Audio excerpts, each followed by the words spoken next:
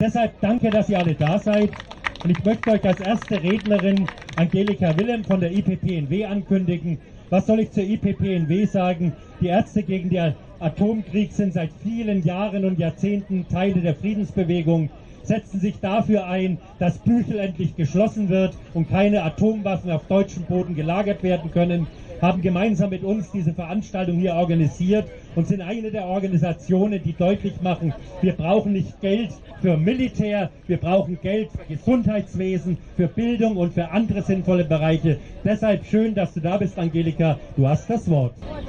Also, heute entscheiden unsere Bundestagsvertreterinnen über eine massive Erhöhung des Verteidigungsetats. Und wenn diese Pläne wahr werden, hat Deutschland weltweit die dritthöchsten Militärausgaben. Wir denken, Deutschland hat nicht zu wenig Geld ausgegeben für Krieg und für Verteidigung, sondern wir haben viel zu wenig Geld ausgegeben in den vergangenen Jahren für Diplomatie, für zivile Konfliktbearbeitung für eine sozial-ökologische Transformation, die wir doch so dringend benötigen, die Klimakatastrophe zu bekämpfen. Für ein rasches Ende des völkerrechtswidrigen Angriffskrieges Russlands auf die Ukraine wird die geplante Aufrüstung nicht helfen. Im Gegenteil. Andere, ähm, die neuen Waffen, wie beispielsweise der atomwaffenfähige F-35 Kampfjet, ist erst in einigen Jahren verfügbar. Das europäische Luftkampfsystem Future Combat Air System ist frühestens 2040 einsetzbar. Doch bereits die Ankündigung ihrer Beschaffung kann zu einer weiteren Eskalation im Ukraine-Krieg führen, bis hin zu einem Atomkrieg, wovor die IPPNW immer wieder warnt. Die sozialen und ökonomischen Herausforderungen in Deutschland, aber auch weltweit sind enorm.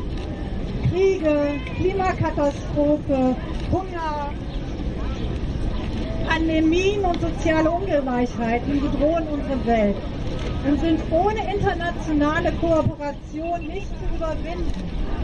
Wir als IPPNW denken Gesundheit für alle Menschen und ein gesunder Planet.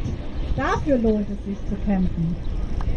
Das 100 Milliarden Paket für die Bundeswehr verschlingt nicht nur finanzielle, sondern auch natürliche Ressourcen sowie menschliche Arbeitskraft und Kreativität, die wir doch zur Bewältigung der globalen Herausforderungen für Klimagerechtigkeit und für das Erreichen der Millenniumsziele benötigen.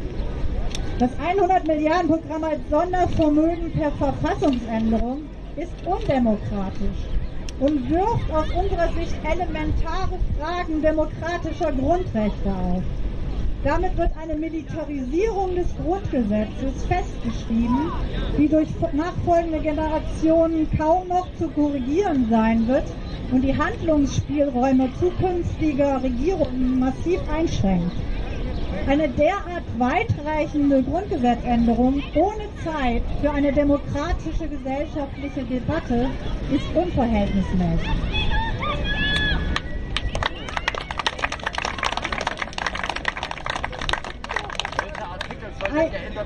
Eine neue Friedensordnung in Europa kann nur durch Deeskalation, Abrüstung und Verhandlungen erreicht werden. Eine Welt, in der jeder Staat aufrüstet und weitere Staaten nach Atomwaffen streben, ist keine sichere Welt. Deswegen lasst uns zusammen eintreten für Diplomatie, für Frieden, für Abrüstung, für eine sozial-ökologische Transformation und für soziale Gerechtigkeit. Danke euch.